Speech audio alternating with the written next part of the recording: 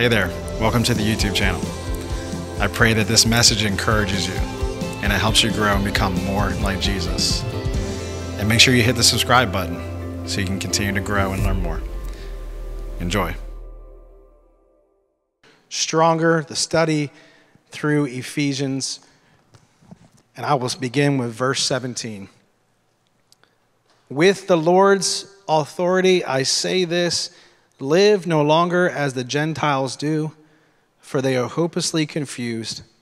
Their minds are full of darkness. They wander far from the life God gives because they have closed their minds and hardened their hearts against Him. They have no sense of shame. They live for lustful pleasure and eagerly practice every kind of impurity. But that isn't what you learned about Christ. Since you have heard about Jesus and have learned the truth that comes from him, throw off your old sinful nature and your former way of life, which is corrupted by lust and deception. Instead, let the Spirit renew your thoughts and attitudes. Put on your new nature, created to be like God, truly righteous and holy. So stop telling lies. Let us tell our neighbors the truth, for we are all parts of the same body. And don't sin by letting anger control you. Don't let the sun go down while you are still angry, for anger gives a foothold to the devil. If you are a thief, quit stealing. Instead, use your hands for good hard work, and then give generously to others in need. Don't use foul or abusive language. Let everything you say be good and helpful, so that your words will be an encouragement to those who hear them and do not bring sorrow to God's Holy Spirit by the way you live. Remember, He has identified you as His own, guaranteeing that you will be saved on the day of redemption. Get rid of all bitterness, rage, anger, harsh words, and slander, as well as all types of evil behavior. Instead, be kind to each other, tenderhearted, forgiving one another, just as God through Christ has forgiven you. Hey, in some of our homes, this might be the perfect sermon for today, right? with, a, with uh, siblings bothering each other. So, hey, what a powerful scripture. Um, I know in our home we, we have amazing parents, but uh, uh, my, my sister and I, my brother, we're not perfect. And so we had our many times where we weren't being kind to each other. So I pray this can apply even to our homes today. Paul is talking about a transformation that took place He's saying in a nutshell, don't live who you used to be. You've been given a new nature, a new identity, a new way of living. Put that on. And here's the thing he gets into some details of what that looks like. Don't lie, don't do this, don't do that. Instead, do this. Don't be angry and slander, instead, be kind. So, Paul goes through this new transformation, this new way of living in our scripture today. And it's all possible it's possible to live this new life because of what Jesus has done for us at salvation and through his spirit living in us.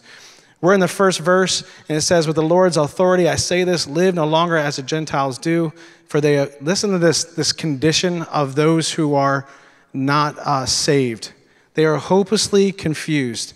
Their minds are full of darkness. They wander far from the life God gives because they have clothed close their minds and hardened their hearts against him. They have no sense of shame. They live for lustful pleasure and eagerly practice every kind of impurity.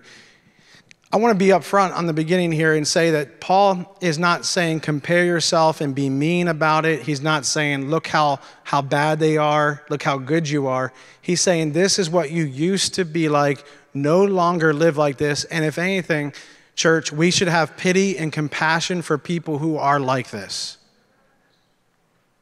The condition is very bleak. Hopelessly confused, hardened heart, a lust. Uh, in the Greek, it talks about a lust that cannot be satisfied, a greed for more is the context in the Greek here, the understanding of the original language. It's this inability to even feel sin as wrong that's how off they are. The word harden here, it, it, I'm get my note for you, is porosis and it's a petrification. It's like when two bones break and then they fuse back together, it's harder than the bone originally was. It's so hard that it can't be broken, they can't receive except unless the power of Jesus Christ comes over them. There's no sense of shame. I won't try to pronounce the Greek here, but it has to do with lost all sensitivity. They don't feel any moral stimuli.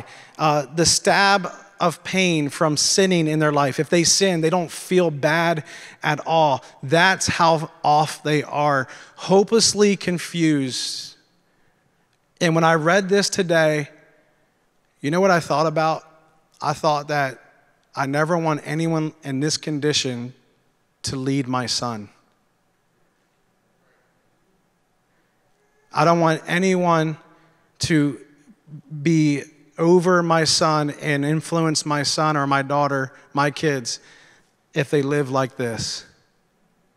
I don't want my, my kids to be around and to uh, indulge and enjoy in other kids that may think and feel this way. So there's a sense of guarding here. There is a sense of, of caution and protection.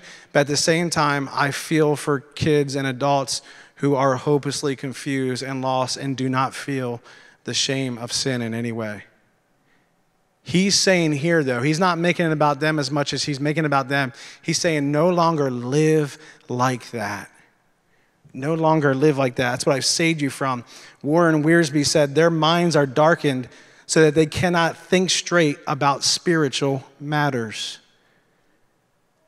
I remember I asked for someone's forgiveness one time and they didn't understand why I was asking for forgiveness because they didn't think I did anything wrong, and I clearly did.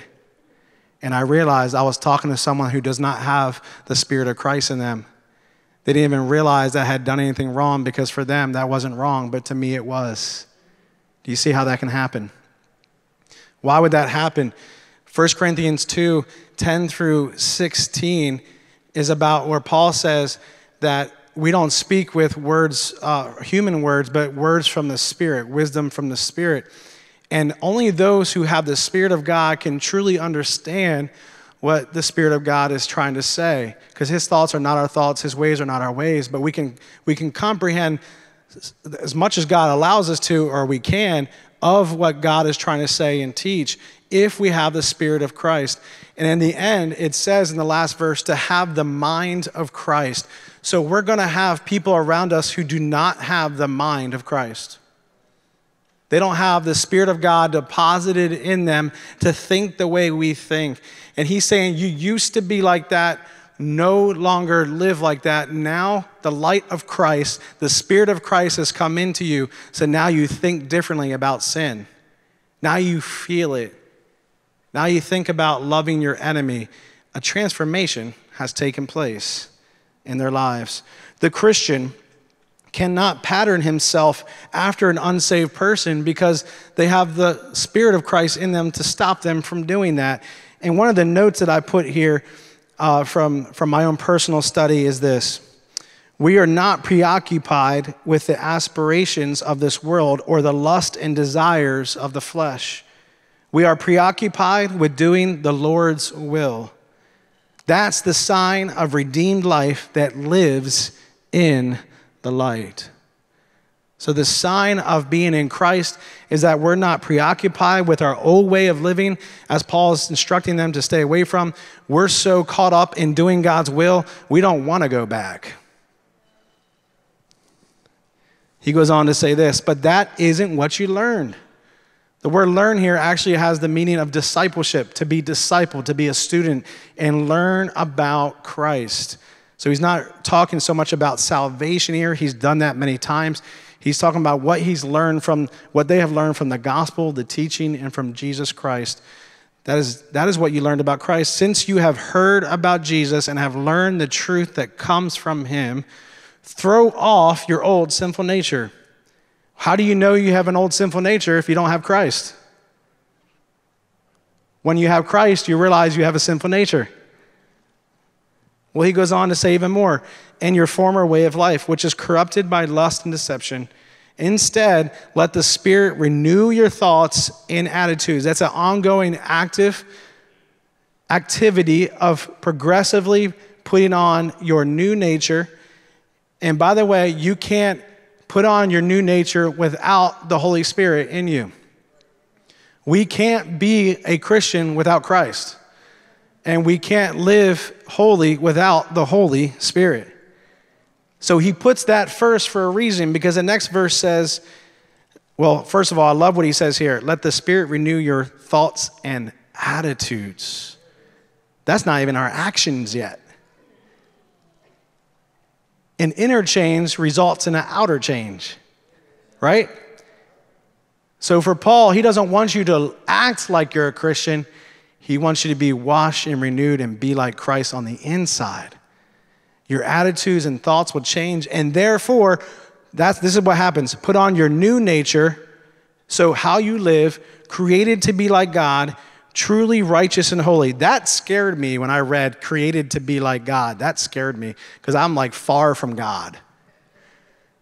But what he's saying here is, is to be like Christ. You have been made new to be like Christ. And the two words he uses is righteousness and holy or holiness. Why would he use that? Well, righteousness has to do with your vertical holiness, your vertical uh, goodness, how you love others, and how you live a good character, uh, live in good character of Christ. But then holiness has to do with your, uh, did I say vertical? I meant horizontal. Horizontal relationship with others. Vertical is your holiness with God. So we are to be holy and pure in God's sight, and then we are to live in our vertical relationships with righteousness and love. In other words, the command from Jesus love the Lord your God with all your heart, soul, mind, and strength, and love your neighbors as yourself. We are to be like Jesus, who perfectly loved all of those around him, and then he loved his Father. That's the new nature. They were unable to do that before Jesus came into their life and the Holy Spirit washed them and made them new. Now they are able to do it. In fact, because the Holy Spirit has shown up, they know what that looks like. Because Jesus was around as well, and our eyewitnesses are teaching them, and we have the Word of God, we know what that looks like. One commentator used an interesting way of saying this. He said, lay aside the costume of their ungenerate, unregenerate selves or unsaved selves. Lay aside the costume. What is he saying there? He's saying that a newborn in Christ, a, a believer, any believer in Jesus Christ, if you live like your old self, you're acting like a costume for a play. You're putting on your old self and you shouldn't. That should be gone. Do you know what the word hypocrite is in the Bible? It has to do with this idea of acting on a stage play. To act like something or act in a way that you are not. The word hypocrite comes from the word act in the Greek. And so to act a way you shouldn't be acting, I find that a very powerful statement to get rid of your old self because now it's a costume, it's not who you really are. Are you with me? BC days before Christ, you changed, right? Now, I'll get into how this applies more at the end, but uh, I remember uh, a couple years ago, I started this health journey. I lost weight. You know what I did? I went into my closet and I threw away all my old clothes, or I gave them away. Because that was my old self with my old habits, my old ways of thinking. And through help of God, the grace of God, and a health plan, I learned a new way to live, right? Now, I gave those clothes away. Why? So I wouldn't put them back on one day. Because they're my old clothes. I don't wear those anymore. I'm a new creation in the new thing I've been doing. Well, same thing spiritually. I'm a new creation in Christ. I leave those old ways behind. It's possible because the Holy Spirit lives in me, I can do it. Under the influence of the Holy Spirit, I can do it. And this is really important. You need to understand something. You may not feel like you're brand new, but you really are a new creation in Christ. We, it's hard for us to grasp this because we still know how off we can be and how messed up we can be. But a commentator said this, and I wanted to make sure we get it in our hearts and ears. It says, It is not the former nature refurbished, refurbished, better or improved, but a totally new creation to be like God as man was in the beginning. He's talking about the garden. Wow. So we're not dusting off our old nature and just trying to make it look pretty with a costume and makeup, right? No, in God's eyes, you're a brand new creation. That's deep. And we need to consider ourselves a new creation and then therefore live like that new person who is Jesus Christ. That is powerful.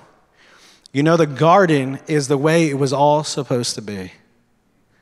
We were like him. We were behaving okay.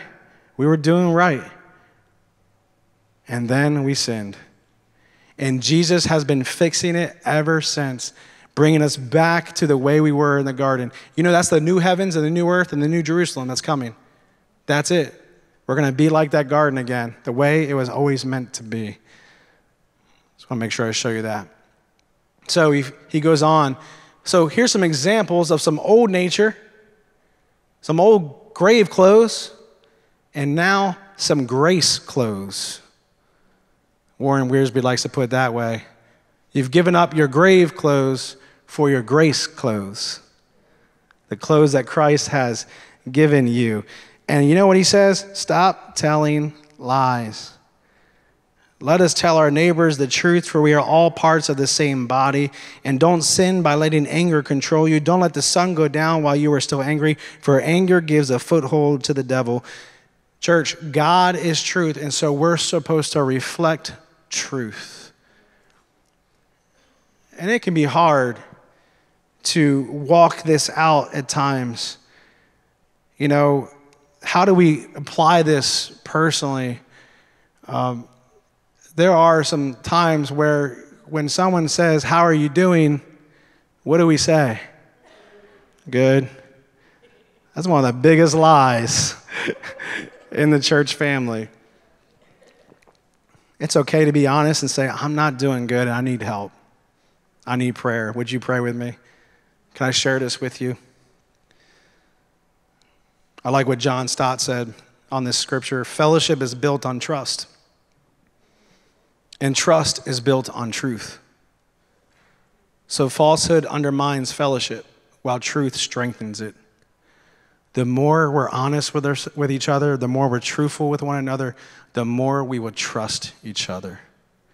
Now, before you go and be honest with someone, make sure you read the and listen to the previous sermon, speaking the truth in love, okay? And I taught last week, receive the truth in love as well. Receive it as well, knowing that that brother or sister in Christ loves you. And that's why they would say that in the first place. He goes on to say, Do not sin in your anger by letting anger control you. Don't let the sun go down while you're still angry. I love what the commentator and author J.A. Bengel said. He said, Anger is neither commanded nor prohibited because anger itself is not wrong, but this is commanded not to permit sin to enter into your anger. So don't get to the point where you're so angry that you do and go say something you shouldn't say go retaliate, go hurt someone. He's saying that's when anger is wrong. There is a righteous indignation when we hate sin and we hate injustice in our world, when we hate that people are going to hell, that is okay. But it'd be wrong to act if we hate someone and then hurt them. Following that. If we don't deal with the anger in our lives, that leads to more, and it usually leads to action. And anytime we don't deal with the anger, it leaves a door open for the devil to work. The devil looks for conflict in the church so he can throw more fuel on the fire. He's going to throw gasoline on that fire. It's better, and here's why does it say foothold? It, here's a, here's an, a, a more modern day of putting it. If me and someone else are going through something and I'm angry and I don't deal with it and talk it out or just let it go and forgive, and I'm holding a grudge, it's like that door should be closing, but I put my foot right in the door before it closes because I still got a problem with that person I haven't dealt with. I stop that, that interaction isn't solved. The door can be closed. We're moving on. Thank God for your forgiveness, your grace, your love. No, instead, because there's a grudge and there's still some anger there, I go ahead and I put my foot in that door so it doesn't close. And guess who can sneak in? Um, my wife and I, in our old home, we had a shed and we barely used it. And it was one of those sheds where anyone seen the movie Arachnophobia? I mean, I'm pretty sure the spiders owned that shed more than I did. And uh, one day, I'm working in the yard, and a giant, and I say giant because it was too big for me, too big for my comfort, a rat snake, or they call them black snakes, uh, uh, was, it was right next to me. Didn't even see it. I'm working in the yard, and this thing was huge. I held it up afterwards, it was six feet. It was as tall as me, give or take. You know how people are with fish stories, right? It was this big. It was, I held it up. It was pretty big. Um, I'm so mad at myself because I never fixed the door to the shed. And I'm, I'm waiting for this thing to move away. He's, he's actually curled up and looking at me funny. And I'm like, hey, you need to get off my land. This is, this is actually my house. I own, you don't pay the bills, snake. You need to go. And the reason why is because our kids were outside playing. I was doing yard work. I didn't want this thing around us. And it was actually really defensive. Well, I stepped back, I let it calm down, and then uh, as I moved forward, he started taking off and going away from us. Thank God.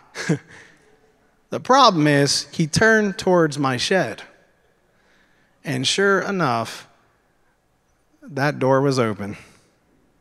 And I needed to go in there to get some shovels.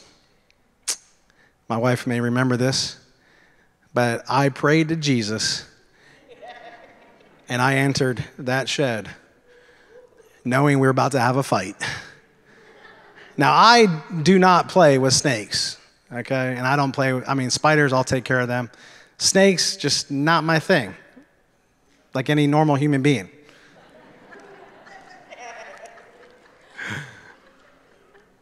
And I needed to be in there because I was doing landscaping. I was getting rid of, I was building a, a, flower bed, and I needed to get in there.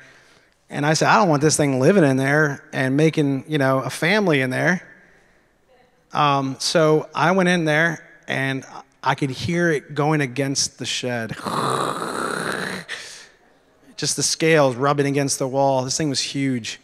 And I go on the workbench. I jump up on the workbench, like more like crawl up on the workbench panting to death trying to get up there. And I'm standing on it shaking like this, just because I can hear this thing moving, and then it stops. And I'm just like, I gotta get rid of this thing. I, I should have just left it alone and just, but I need to get shovels and everything. I want to go in and out. I didn't know how long it's gonna hang out. And so I wait there for minutes, and all of a sudden I see a head stick out from the bottom of the workbench down below. Because it was like a doors, it was doors in the way, so it was solid. I couldn't see underneath of it and all of a sudden this snake head comes out. And I don't know if there's anyone sensitive about animals dying. Close your ears. But I had a spade shovel and I hit that thing right in the head. Victorious. Victorious. Woo! Now, I thought about that in two ways spiritually. One, sometimes we got to deal with the snakes in our sheds because we allowed them to get in there. We allowed the devil to slip in because we didn't deal with it in the first place. And I also learned physically to make sure my door is sealed tight, okay? Let's make sure. We, yeah, we need to deal with that anger or the devil will slip in. We need to deal with the unfinished the, the reconciliation that's not taking place, we need to deal with it, or the devil slips in and it becomes worse. I don't want the devil to have a foothold in any situation in my life. He doesn't belong in my life. Under the Mosaic law, by the way, all debts were to be returned and all wages paid for before sunset. So deal with the debt Deal with the conflict before going to bed. Now, if you're exhausted, sometimes we coach in marriage, go ahead and just go to sleep. That might help too.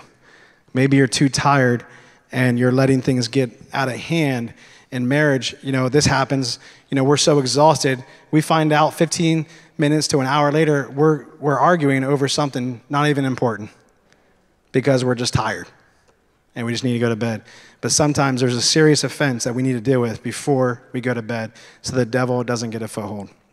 He goes on to say this if you are a thief, I told you we're going to cover a lot of ground today. If you are a thief, quit stealing. Instead, use your hands for good hard work and then give generously to others in need. I love that because he's not saying to stop stealing and then get a job or get, get to work and do your part. But then he's saying so that you can give generously. That's a Christian level right there. That's a whole new level. And I'll explain in a moment. Don't use foul or abusive language. Let everything you say be good and helpful so that your words will be an encouragement to those who hear him. The word here, use foul or abusive language or unwholesome talk in other translations, has to do with the Greek word used for rotten. So, like rotten fruit or worthless, something worthless. In other words, let's be careful not to use worthless, rotten language and talk with each other that does not feed or nourish each other. The contrast would be the fruit of Christ, the love of Christ, the kindness of Christ. Um, for me personally, I'm not big on superficial talk either. You know, like, hey, how you doing? Great, great, awesome. How's the weather? Oh, it's good. I'm not big on that. I know we do it to get through it, but the reality is, I really want to know how someone's doing. I really care about people. And so sometimes superficial talk, that's not in view here. That's not what he's talking about. He's talking about something that would hurt the body of Christ and something that doesn't even bring life to the body of Christ. So it could be coarse joking, perverted joking and laughing that we shouldn't do. This is what Paul is talking about. And instead, if we're going to say something, say something that's going to encourage and build up one another. Now, when it comes to the work, I wanted to show you a quote from Tyndale commentary, so you know it's not just my words. But they say Christians are to work for their own living. And let me tell you that this is in the context of those who can work at this time, in this Bible time. The context, Paul's talking about those who can work and they're refusing to, and instead they're stealing, they're doing things they shouldn't do. He's saying, if you can work, you need to work. You need to pull your weight. And so it's in that context. Uh, so here's what he says Christians are to work for their own living. More than that, they are to work to be able to give to those in need. The Christian motive for earning is not merely to have enough for oneself and one's own, and then perhaps for comforts and luxuries. That's the American way, isn't it? To have all we need for us. Now, the Christian, it's different for us. He goes on to say, but to have in order to give to the needy. Jesus loved taking care of the needy. It was taught many times in the Bible. The Christian philosophy of labor is thus lifted far above the thought of what is right or fair in the economic field. It is lifted to the place where there is no room for selfishness or the motive of personal profit at all, giving becomes a motive for getting. In other words, I want to get more so that I can give. Wow, that's convicting. That's the heart of Jesus Christ. That's the heart of God. We learned about that in our generosity series. God is a generous God. And so I, I, praise God for the examples in my life where it wasn't just to get everything and make me feel comfortable, but I was taught to make sure I can help others in need. And so even our church is such a giving church and generous church. It's a blessing to help those in our community as you continue to give. So we're moving forward. And he says this, and do not bring sorrow to God's Holy Spirit by the way you live Remember, he has identified you as his own, guaranteeing that you will be saved on the day of redemption. The word guaranteeing is also seal. You've been sealed or branded uh, to be one of God's. You are one of God's by the Holy Spirit. You're identified as one of God's children by the Holy Spirit. The word grieve is used in other translations. And do not bring sorrow to God's Holy Spirit by the way you live. What is he talking about here? Everything before it and a few ver- uh, verses right after. Living our old way grieves and brings sorrow to the Holy Spirit. You know why? Because he lives in us. And it was a great cost for Jesus to die for us on the cross. And to trample on it and to live a way that we should not be living, to act in a way we shouldn't be acting. He's saying it grieves and it hurts the Holy Spirit in us. Isn't that kind of isn't that humbling? That we can hurt the Holy Spirit by the way we live. I don't want to do that. And so we can tell because we'll feel that hurt when we're doing something wrong. We'll feel that check in our spirit. We'll go, man, I know this isn't right. I, I don't want to do that. Or we'll feel really bad and we'll feel a healthy guilt after we've messed up. That's to grieve the Holy Spirit. And if we're grieved by the Holy Spirit, let's respond to the Holy Spirit by confessing our sins and turn away from those sins. One commentator from the pulpit commentary said this. I'm going to answer the question How and when do we grieve the Holy Spirit? This is deep, but this is what he says. When his work is obstructed, in other words, when the Holy Spirit says to do something and we don't, that's to grieve the Holy Spirit. When sin is trifled with or played with, when deity is treated carelessly, when we use the Lord's name in vain, or when we don't use it with respect, that is to grieve the Holy Spirit. When the Spirit of the world is cherished, in other words, when we enjoy the world more than enjoying God, when we enjoy the things of this world, the pleasures and the lust of this world, and not God, the Holy Spirit is grieved by that. To grieve the Spirit is to help to obliterate the seal and thus weaken the evidence of our redemption. That's heavy. We've been marked by the Holy Spirit. We have the character of Christ that should be growing out of us. And to, to not live like the Spirit of God wants us to, to not live like Jesus wants us to do, to, it, it, it messes up the image and the reputation of God. And really, the seal over our life, the Holy Spirit, it grieves him, it hurts him. Now, this, this goes into a whole big theological discussion, and I don't have time for it today. It's for another day about can we walk away from God? And this scripture and other scriptures need to be read in full context, like Hebrews 3 12 through 14, that our hearts as believers can be hardened and, dis- and um, deceived by sin, and we can turn away from God.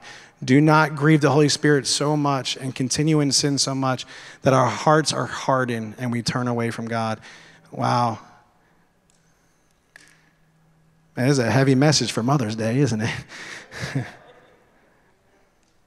but Paul loves this church and he's calling them to a, a standard of Christ.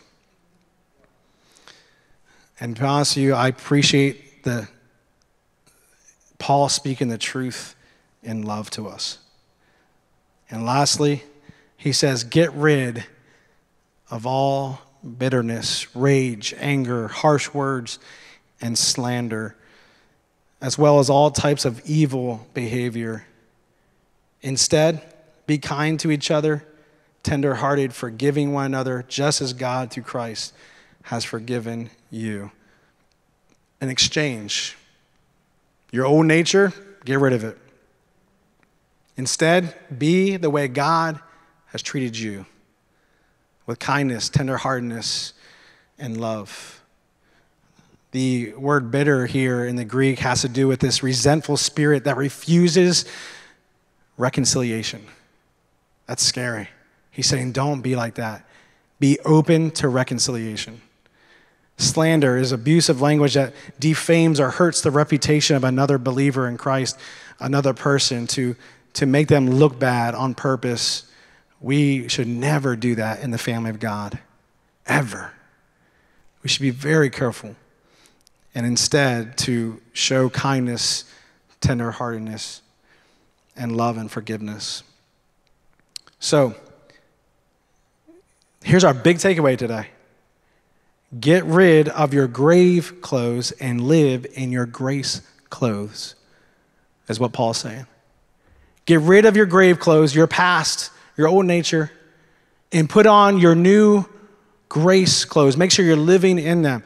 The question is is how do we do it? Let me wrap up our message today. Thank you for hanging out a little longer. There's a lot of ground to cover, wasn't it? A lot of verses. So, how do we do it? How do we do this? First, don't look back. Paul says, You are no longer like that. Don't live like the Gentiles, that unsaved Gentiles are living. Do not look back. Church, there is nothing in our old life that is worth our attention and focus. Amen? There is nothing. I learned through life that whatever we focus on, we become. Whatever we focus on, we become. And I have a word for today. I wrote this down, so I'm going to read it word for word, but I feel like this is for someone. Don't know who. It's really for all of us. It's a lesson for all of us, but this is if this is for someone particularly, be encouraged by this word. Repentance, it, it means to turn away from sin and turn towards God. So to not look back, this is why I put this here. Repentance can create a crisis in your life depending on how entangled you are in a sin or how dependent you are of that thing or person you are repenting of or from. Repentance is one of the hardest things you will do because turning away from something that is evil or sinful can leave a hole in your life. It's hard to turn away, and it creates a hole because you love it or have grown comfortable with it in your life, but now you're giving it up for God. Not to mention the spiritual warfare you will face and the community of people who will come to discourage you. You know why? Because they too live in it and they want you to stay in it. Or you'll just be influenced because they're still doing it and they look happy. I've heard this before. Hey, their life is great. They're doing great. Why would I leave it? I got encouraging news for you today. If you are afraid to repent and turn away from something, or you, maybe you're looking back and you're, you're, you're looking at that and going, man, I gave that up for, for Christ, and man, things haven't been that great following Christ. It's been worse, actually. Listen, let me tell you something. When we turn around, Jesus is there to fill that hole, and so is our church. Jesus is there to fill that hole. When you repent from this world, you're not missing out on anything. When you repent and you turn to God, you're gaining everything. Man, that's, that's my story. That's my story. I found a love I could never find anywhere else in God. Well, that makes sense. How do we put off the grave clothes and put on the grace, grace clothes? We don't look back at our old life. That was verses 17 through 19. I put it right there. Well, guess what was right after that? Look toward Jesus and learn more from him. That was the next verses. Keep your eyes, fix your eyes on Jesus. Fix your eyes on Jesus. Why would we do that? Because that's who you are now in God's eyes is you're like one of his children. And Jesus is the firstborn of many sons and daughters scripture says. He's our big brother. And he is he is who exactly who we should become. So, the one of the ways you walk away from your old life is you walk towards your new life in Jesus Christ. As you do that, guess what happens? Number three, follow the Holy Spirit as he convicts and guides you through the word. By the way, Paul mentions the Trinity again in our scripture today Father, Son, and Holy Spirit. He mentions all three again. He loves doing that as we follow Jesus, the Holy Spirit is there today to represent Jesus. This is, this is doctrine. This is teaching in Scripture. This is Romans. This is John 12 through 14. This is Acts, the whole book. As we follow Jesus today, because Jesus is with the Father, but His Holy Spirit was sent down to us, He is here to guide us and convict us into all things that are like Christ. Follow His lead. Let's not grieve him, let's follow his lead and his example. And the way we do that is through his word. The Holy Spirit teaches and guides through his word. You will be reading scripture, and the Holy Spirit shows you something you needed to hear. And it's always so good. And lastly, live the new life of Christ because you are new through Christ. Consider yourself new and live that way. Don't go to the trash can and get all that stuff that you threw away. Say, get rid of bitterness. Trash stinks. It's gross. And so is that old way of life. We got rid of it. Don't go rummaging through the dumpster, putting it back on. That's not you. Now you're acting.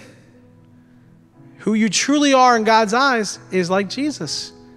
Not perfect, but on your way, growing and growing more to be like Jesus. And here's really something important. As you're focusing on Christ, you'll focus less on sin. You know, a lot of us do?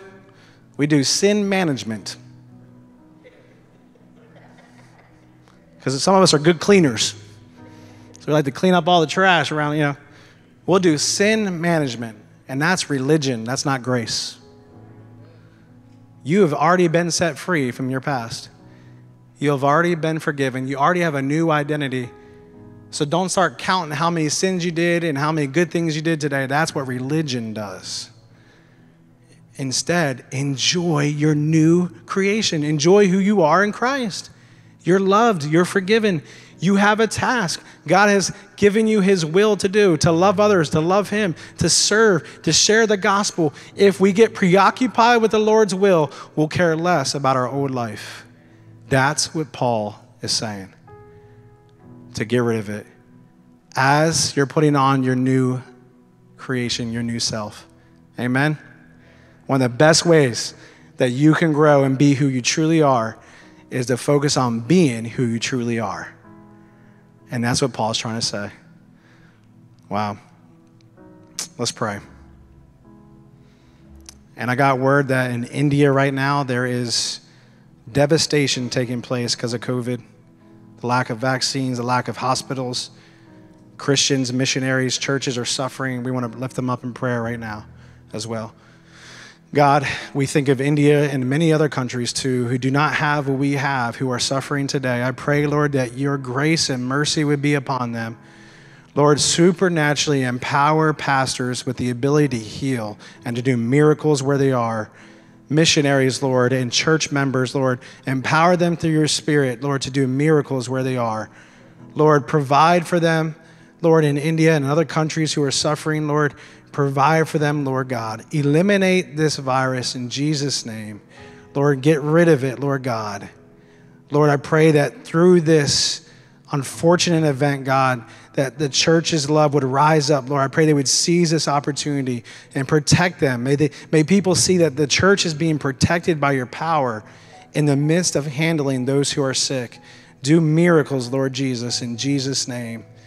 Lord, we lift up this church to you. We thank you that we're not who we used to be, and you've called us to be who we're supposed to be. And Jesus is our example. Help us to put on the new nature. Lord, we thank you for your son's example. We thank you for the Holy Spirit and the word that helps us. And Lord, I pray again that you be with everyone who's celebrating moms today. What a blessing it is. Be with all of those, Lord, who are also missing mom. Lord, comfort them during this day and this time. God, we lean into you for everything we need. You'll never let us down. We love you. We praise you we thank you. In Jesus' name, amen.